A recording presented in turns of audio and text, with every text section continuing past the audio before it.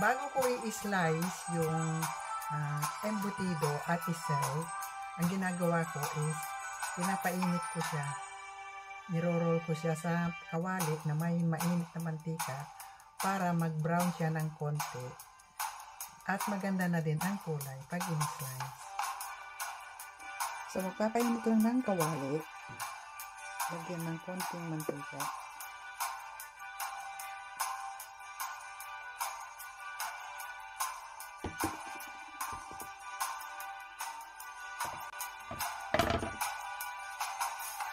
Tapos pag mainit na yung mantika, ilagay na natin yung ating embutido.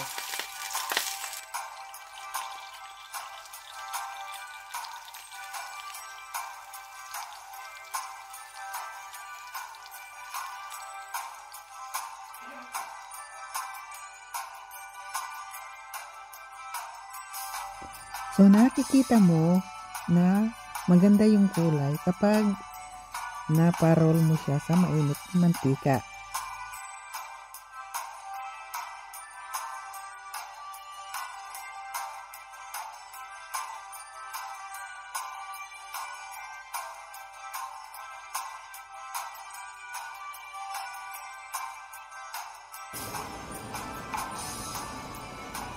So, i-slice na natin dahan-dahan para buo.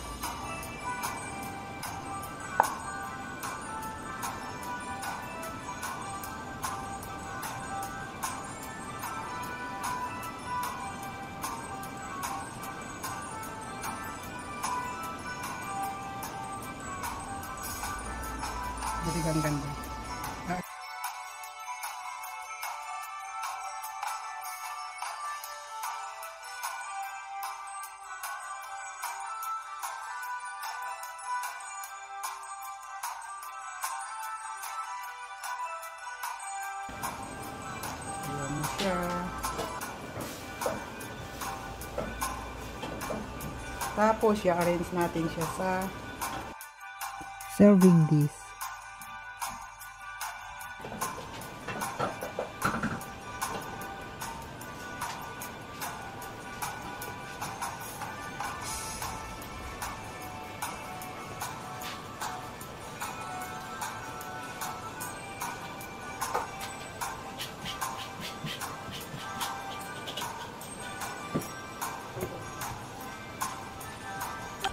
Yan, so konting garnish lang.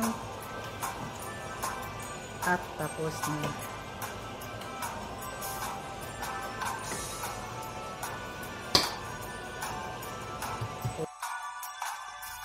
Thank you for watching. Please like and subscribe to my channel, House of the UK.